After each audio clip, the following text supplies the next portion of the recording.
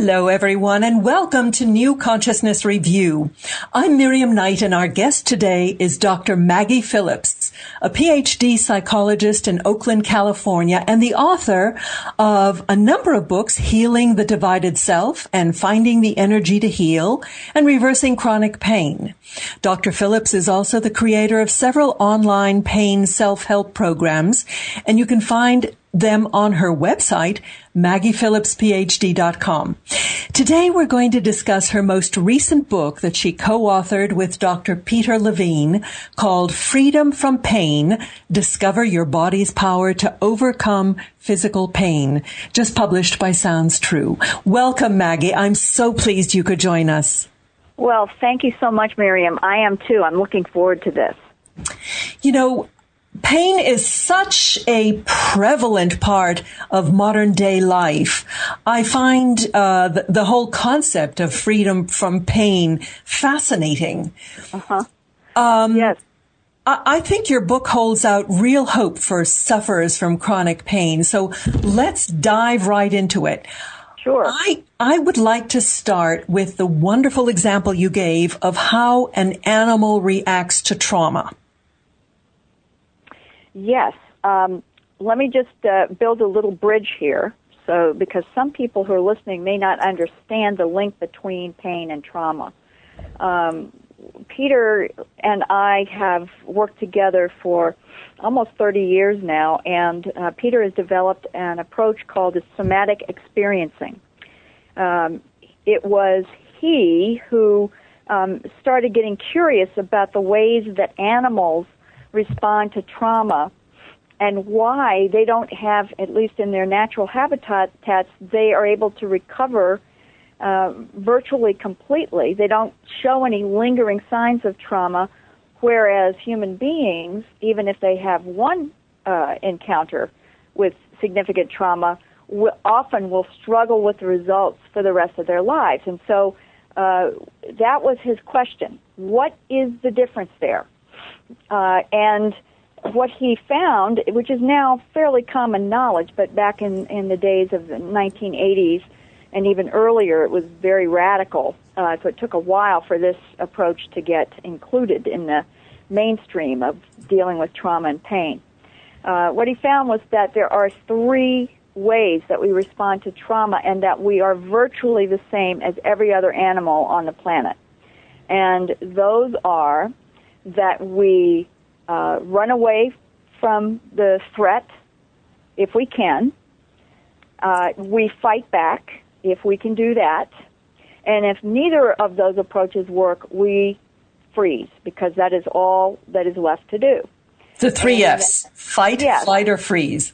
Fight, flight, or freeze. And, you know, the animal that we use to, um, you know, to, to uh, define the, the freeze response is the possum, which in our culture, you know, we have the game called playing possum, which is pretending to be dead or asleep. And uh, basically, uh, the possum cannot defend itself. It cannot fight back. It is slow as molasses to move anywhere, and so it has become, you know, really proficient at freezing. Uh, and what happens is the the possum and we do too when we're in a free state we go into a uh, profoundly different state of uh, mind body awareness and connection. And we are protected from painful death because a cascade of chemicals are released. Most of them are very pleasant chemicals such as opioids, uh, endorphins, and so forth. And the design is amazing, you know, in, in terms of uh, survival. Uh, so that if we're in a place where we cannot escape, we cannot, you know, uh, fight back or in other ways protect ourselves, then we have this state of shock and freeze that we move into, which cushions the blow, so to speak. And the problem with human beings is that unlike animals, in, in the wilds and domestic ones too, we frequently cannot, there's no way we could run away um, because often, you know, you can imagine trying to run away from a, a car accident. It's just not uh, practical. or even physically possible, nor can we fight back. Um, in many cases, we are powerless. We can't move, uh, depending on the trauma. And so we automatically, by default, go into the freeze state. And in, in our bodies, what that means is we become disconnected from the pain uh, long enough so that uh, in, in the case of humans, help can come, uh, we can get help in surviving, or uh, we are able to eventually just shift out of that state on our own. But many people who've had repeated traumas, and we can talk about what those are in a few minutes, um, they don't release the trauma. Uh, if you if you think about deer in the headlights, which is very common where I live, it's almost always every evening I will uh, come across a, a deer. Lately, they've been young deer, and um, they will freeze. You can see this when the headlights uh, move over them because that's their sign of threat. Something is about to get them. And so they will freeze, and then after the headlights move away, so the threat is gone, you can't see this unless you have a video of it, but uh, Animal uh, Planet and many of those uh, types of animal shows will routinely show this. The deer will very subtly shake and tremble all over and literally shakes off the effects of that danger, that threat, so that they move on about their business as if nothing happened. And of course, what we don't have is the knowledge, first of all, that we need to shake off the effects of trauma uh, in our bodies, and two, we don't know how to do it. So that's what our book is trying to help people learn about. You know, an interesting thought came to me as you were speaking. There's something called retrograde amnesia that occurs uh, at the point of a trauma so that the events immediately preceding and during the trauma are just wiped out of your memory banks. And we also get a lot of reports from people suffering um, out of body experiences, near death experiences, that at the point of trauma, they kind of rise up out of their body. And then um, only after uh, a period of time do they come back into it.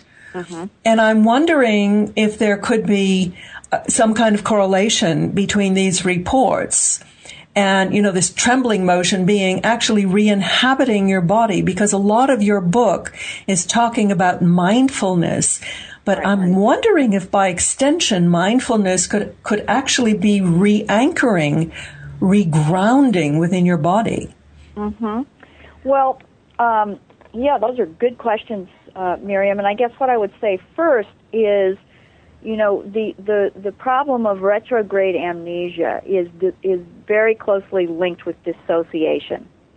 Dissociation is a um, automatic response.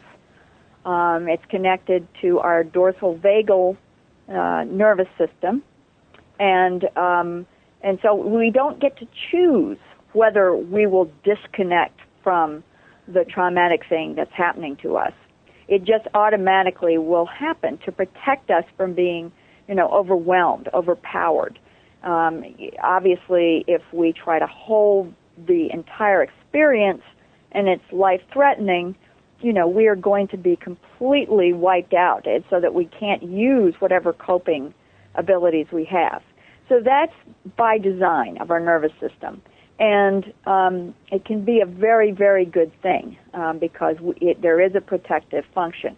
So that I believe does correlate with what you're talking about in that people coming back into their body when, like the deer, they've gotten the brain has gotten some sign that the threat is over, um, at least for the time being, and then the dissociation begins to automatically lessen.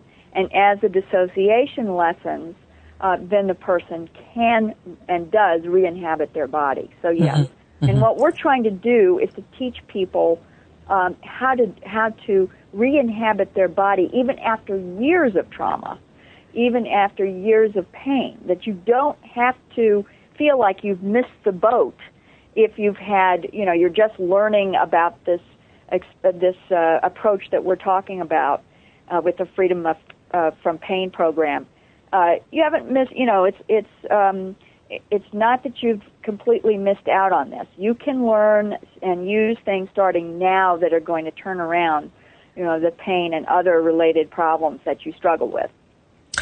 I think the important point to emphasize uh, here is that recovery from pain is our natural state. Yes. But daily life in the modern world, unlike the animal life, is much more complicated. And you point out in your book that many of the traumas that we experience may not be physical, they may be emotional. Yes. So, and, yes. and explain how we pull those emotional traumas into our body and hold them there as well.